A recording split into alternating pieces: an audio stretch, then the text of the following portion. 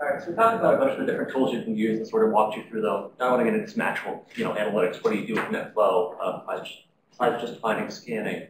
Um, I'm going to, my intent is to cover these sort of at a high level, give you English descriptions with the idea that whatever tool you're using, you can figure out how to do X analytic in it. So we're not going to walk through every analytic in every tool.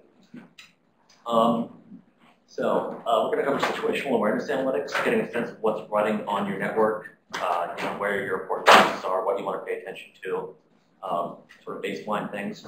Uh, then get into a little more about hunting and how to actually find bad guys once you are oriented in the, in the network. Um, we're going to talk about this mostly from NetFlow only perspective, uh, but then we'll get into fusing NetFlow with other data sources, um, host-based data or other network-based data. Um, talk a little bit about uh, looking at differences in sensor visibility, what that can tell you about your network. So situational awareness, um, getting a sense of what's running on your network and where it is. So there's a paper uh, out of uh, CMU SEI CERT, guys who do Silk, uh, talking about network profiling using Flow. They've got this whole methodology. Um, so they start uh, by gathering some information on the network, uh, you know, uh, figuring out sort of what's going on at a high level. You, you pick a subset of hosts you think are representative, uh, but a small subset, one you can sort of deal with, in the order of a few dozen hosts. Um, you look at that, you, you baseline uh, services that are running, the, the servers that are running. Uh, then you start looking at sort of the odd stuff. So besides, you know, web, DNS, and mail, what other stuff is running on your network? Um, try to get a sense of what's going on. Um, you report, and then you sort of repeat. So you go back through and, and uh, widen out your search, look at a larger subset. So the idea is you start with a microcosm, try to make sense of it, and then you, you aggregate up. Um, so this is a screenshot from SolarWinds uh, NetFlow Traffic Analyzer. It's a commercial tool. Um, this is largely uh, where commercial tools are at. You get, uh, uh this is in this case, a couple of graphs um, this is interesting in talking about router ports, but mostly just this is talking about uh, top talkers, top sources, um, which is a good place to start, and you need that information, but we're going to try to go further than that. So uh, things like top talkers are, are popular uh, with in, in commercial tools because it's easy to do, right? It's really easy to count up and see who's talking the most on your network. And it's important to do that, but um, you, you really do need to go further find interesting things. You can go further, it's just the commercial sphere hasn't quite caught up to uh, the state of the art. They're getting there. So this is actually a real uh, network data from. Ah, excellent question. Um, so host flow, where you've got an agent on every box, you don't necessarily, you don't need to put uh, a server in every closet. You do need uh, bandwidth between your, your endpoint hosts and some uh, repository to, to suck up the data and collect it. Uh, but it's significantly cheaper to do something like deploy host flow.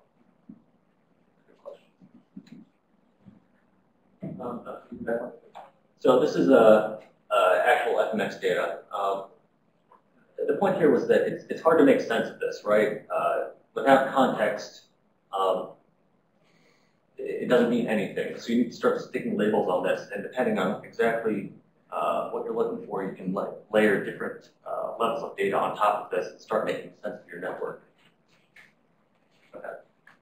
Um, so graphs are all well and good. Sometimes when you're digging into data, you just need uh, tables and charts uh, of, of, data. Um, so this is, again, actual network data. We were trying to baseline the network and get a sense for where some of the servers were uh, and what they were doing. Really, it's just a, a spreadsheet. Um, something note here about the trade-off between storage and reliability. Um, in dealing with something like Silk, where you've got binary files, they're very small, very compressed, uh, and Silk tools work over them very efficiently, but then you can't do things like put that data into Splunk, uh, which is deals with just ASCII data. Splunk is a log uh, search and collection framework. Um, so uh, on the one hand, you've got uh, binary files that are small. Uh, on the other hand, you've got ASCII files that are big. The ASCII files generally integrate well with other tools, right? So uh, a lot of things can suck up a CSV file or, you know, uh, you can otherwise manipulate an ASCII file such that you can read it with other, other tools. Um, and hard drives are cheap enough that I would argue some, maybe you do want to store all your data in ASCII. Um, because then you can actually uh, look through it, you can grab it, you can integrate it with other tools like Splunk or what have you. Um, so storing, storing NetFlow in a binary format isn't always the right answer. Uh, it's worth thinking through your operational environment, what you're trying to do, and what your workflow from end to end looks like, what tools you have in place, and, and what needs to read that data. So when you're looking at NetFlow and, and, trying to profile the network, there's a lot of different ways you can slice and dice your data. Um, the obvious one is sort of by IP address, and if you have it, by host name. Uh, if you've got DHCP logs, where you uh, get your host name from some host-based source. Um, one of the things we did when we were trying to profile uh, assets in the network was just look at top three source and destination ports.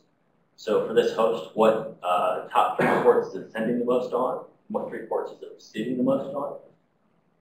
You can do that either by uh, percentage of flows or by byte count. Those are not always the same, right? So if you have a lot of uh, high volume traffic, uh, that uh, a lot of traffic uh, has a lot of flows, but a small number of bytes, those two statistics are going to be different. Um, you do things like the average for the number of flows, for the duration, or for the uh, byte and packet count, or for the byte per packet count, right? So you've got bytes, you've got packets, and you've got average bytes per packet. Um, you can also look at the ratio of the sent versus received for all of those things. So uh, how many flows did this host send versus how many did it receive? How many bytes did it send versus how many bytes did it receive? Those kinds of things.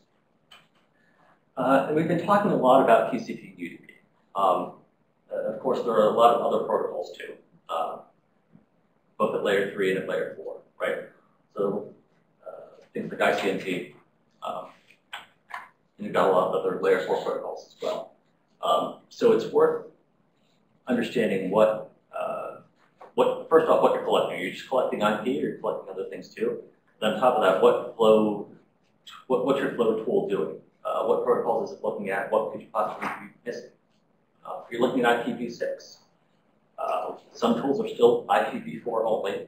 So uh, particularly if you don't set them up uh, with IPv6 compatibility. Uh, so if you're not looking for IPv6 traffic and you don't see it, um, you know, it's something you can be missing. That's a huge blind spot.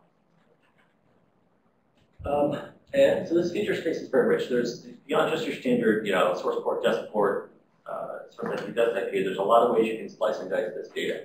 It's worth thinking about what analytic questions you're trying to answer uh, and, and, really choosing correctly on what you're trying to do.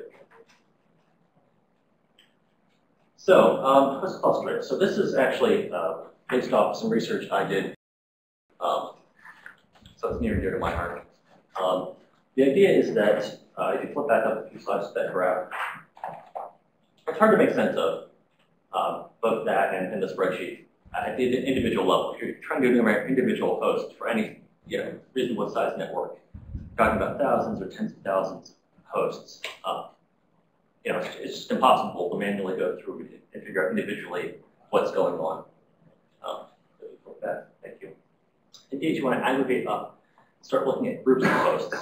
Uh, one easy way to do that is to just look at subnets. So this subnet has X traffic characteristics, had X IDS alerts what had.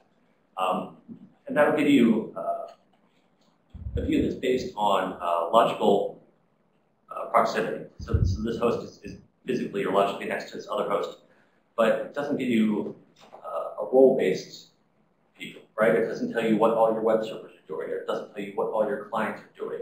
It doesn't tell you what all your, your um, administrators are doing, right?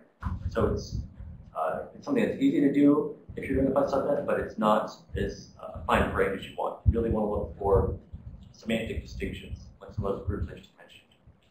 Um, the idea here is it helps inform situational awareness, which is this idea going to keep harping on, so uh, get used to it.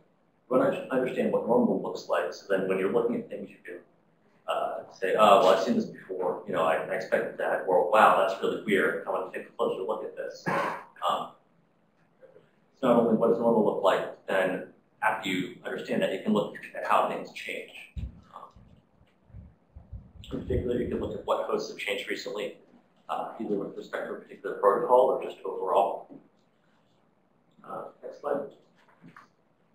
So, some of the questions uh, that host clustering might help for. Um, it, you know, an easy one you don't necessarily need clustering for is what web servers also act like web clients. So if I've got a cluster of web servers, um, I can then look and say, all right, so which of these are also web clients? Um, what hosts have had similar users? Um, so you can, if you can, if you've got additional data on users, um, probably from some host-based system, uh, maybe from DHCP level, you can start looking at uh, how users are acting and uh, do anomaly detection that way. So uh, usually my administrators uh, do X, Y, and Z, uh, administer posts from these boxes. Now all of a sudden this administrator is, is this box is acting like an administrator that it didn't used to before. Something you might want to look into.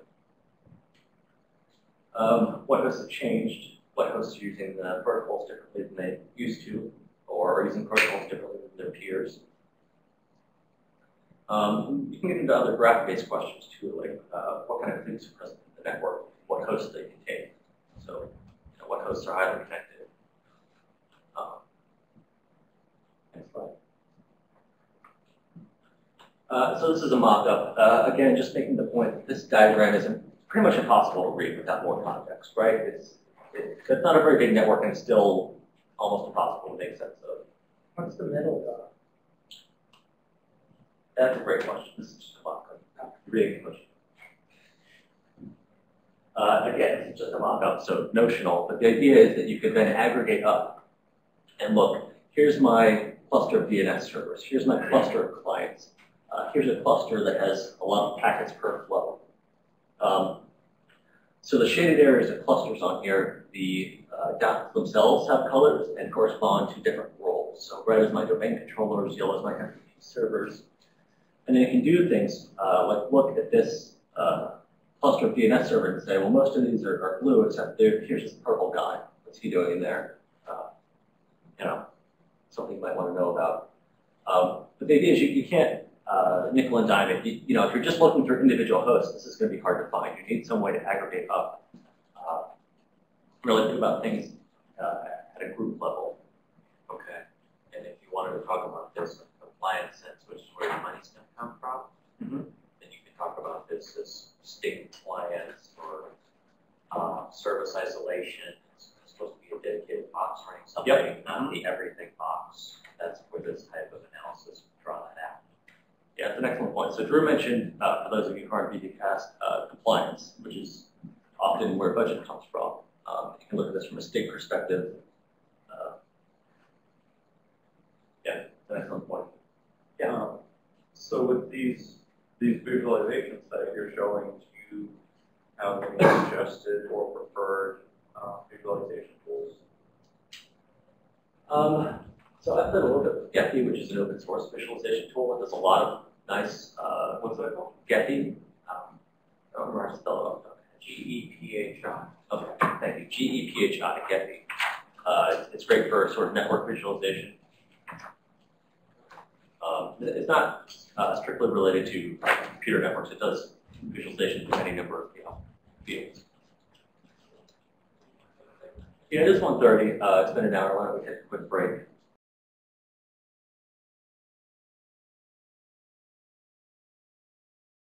In part because of what a lot of the commercial tools want to do is give you a red light that you know goes off and says this is bad.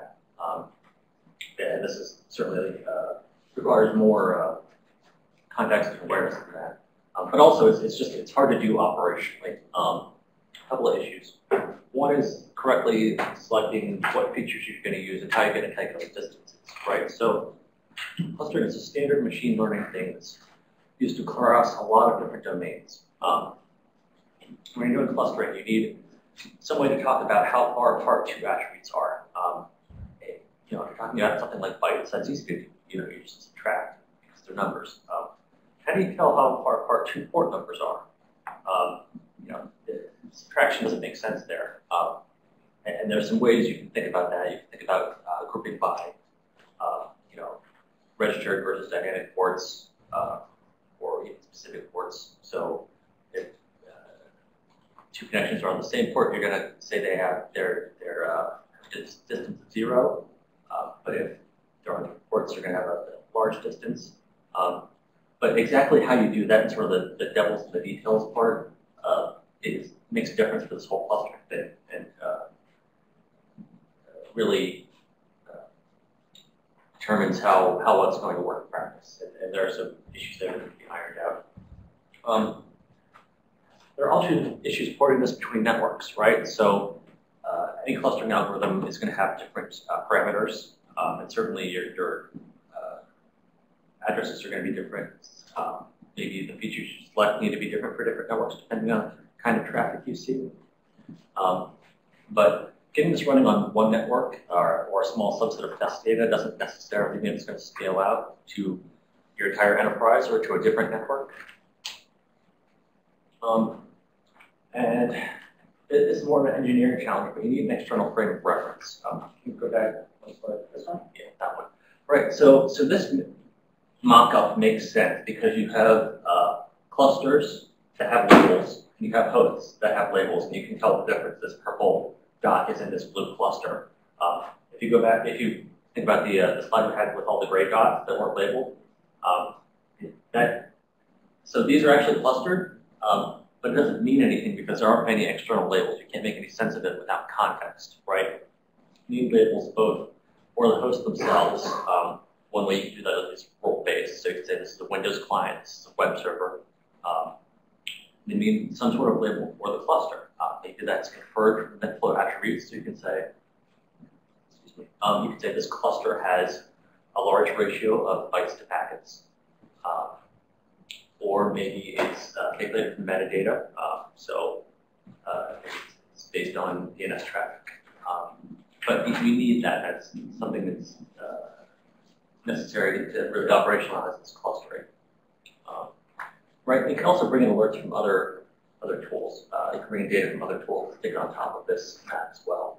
So you could do things like look at where most of your IDS alerts are, um, those kinds of things. So maybe like an asset management system? Yes, exactly. That would be great data to have on this.